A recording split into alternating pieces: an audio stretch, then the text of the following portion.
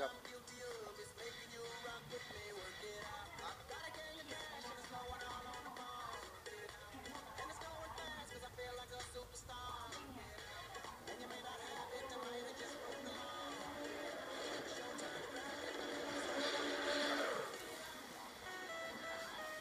เลขสองศูนย์หน้าขับจริง ๆ เอ็มมาทูนติดอย่างเดียวเล็กครับ ผมตัวอ้วนนะขึ้นไปนั่งก็หืมนม เดิมพุงเพิงแม่งโดนพวงมาลัยหมดนะครับ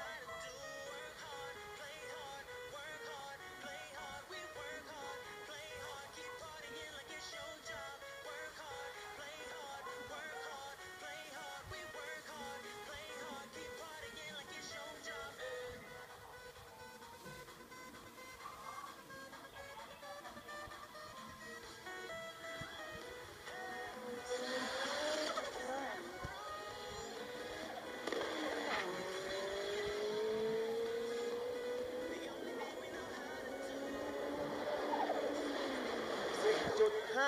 4 5 ครับ